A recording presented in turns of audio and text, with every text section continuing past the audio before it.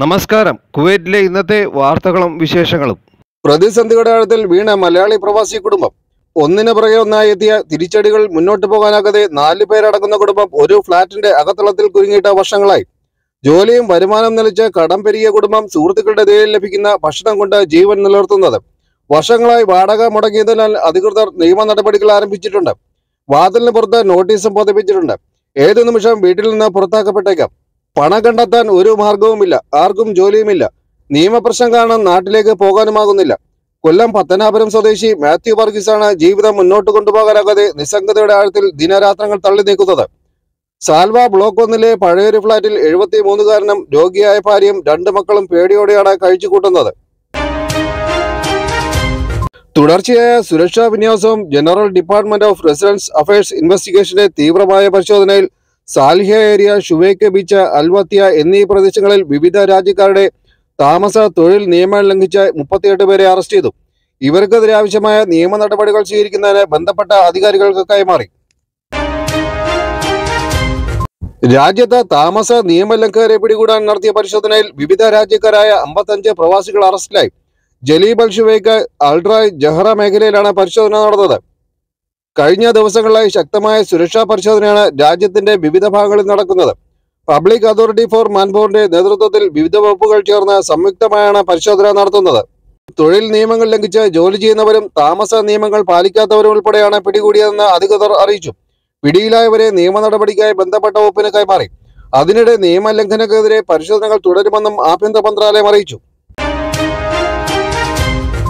ഈ വർഷം ആദ്യം മുതൽ നടത്തിയ പരിശോധനയിൽ മുന്നൂറ് നിയമലംഘനങ്ങൾ രജിസ്റ്റർ ചെയ്തിട്ടുണ്ടെന്ന് വൈദ്യുതി ജല പുനരുപയോഗ ഊർജ മന്ത്രാലയത്തിലെ ജുഡീഷ്യൽ എൻഫോഴ്സ്മെന്റ് ടീം മേധാവി അദിനാൻ ദഷ്തി അറിയിച്ചു. രാജ്യത്തിന്റെ വിവിധ മേഖലയിൽ നടത്തിയ പരിശോധനയിലാണ് നിയമലംഘനങ്ങൾ കണ്ടെത്തിയത്. ജല വൈദ്യുതി നെറ്റ്വർക്കുകളിലെ നിയമലംഘനങ്ങൾ നിരീക്ഷിക്കുന്നതിനാണ് നിരവധി സർക്കാർ ഏജൻസികളുടെ സഹായത്തോടെ പരിശോധനാ ക്യാമ്പയിൻ തുടരുന്നുണ്ട്. സമീപകാലത്തെ രേഖപ്പെടുത്തിയ നിയമലംഘനയുടെ എണ്ണത്തിൽ കുറവുണ്ടായിട്ടുണ്ടെന്നും അദ്ദേഹം കൂട്ടിച്ചേർത്തു. രാജ്യത്ത് കൂടുതൽ രാജ്യങ്ങളിൽ നിന്ന് തൊഴിലാളികളെ റിക്രൂട്ട് ചെയ്യുന്നതിനുള്ള പരിശ്രമങ്ങൾ നടത്തുന്നതായി അധികൃതർ.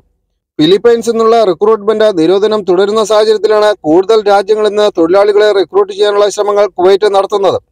പ്രവാസികളുടെ എണ്ണത്തിൽ ഇന്ത്യക്കാർ ഒന്നാമതായി നിൽക്കുന്ന സാഹചര്യം കൂടെയുണ്ട്.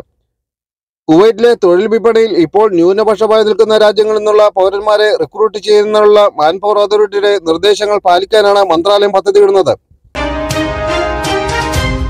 സാൽമിയ പ്രദേശത്ത് സൈക്കിൾ സവാരി നടത്തുകയായിരുന്ന ഏഷ്യക്കാർക്കെതിരെ അജ്ഞാതനോടിച്ച വാഹനം ഇടിച്ചു കയറിയ സംഭവത്തിൽ വാഹനത്തിന്റെ ഡ്രൈവർ പോലീസിന് മുന്നിൽ കീഴടങ്ങി. ഇയാൾക്കെതിരെ നിയമ നടപടികൾ സ്വീകരിച്ചു വരികയാണെന്ന് മന്ത്രാലയം സ്ഥിരീകരിച്ചു. സംഭവ സ്ഥലത്ത് നിന്ന് രക്ഷപ്പെട്ട ഡ്രൈവറെ കണ്ടെത്തുന്നതിനായി പോലീസ് അന്വേഷണം നടത്തി വരികയായിരുന്നു.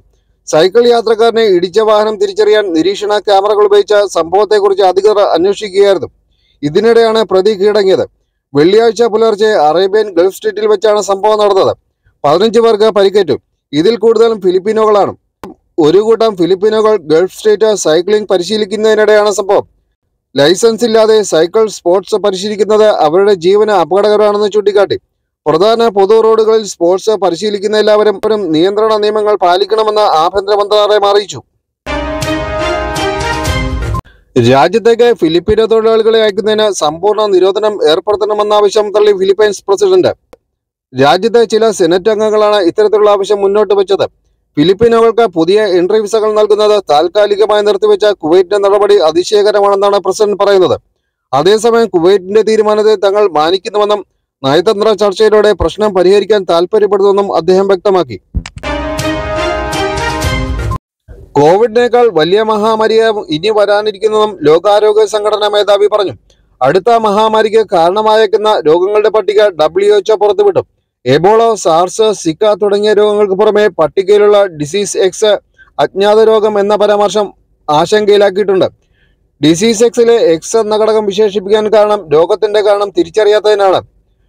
രണ്ടായിരത്തി പതിനെട്ടിലാണ് രോഗാരോഗ്യ സംഘടന ഈ പദം ഉപയോഗിക്കാൻ തുടങ്ങിയത്. ഒരു വർഷത്തിനു ശേഷം കോവിഡ് വ്യാപിക്കാൻ തുടങ്ങി.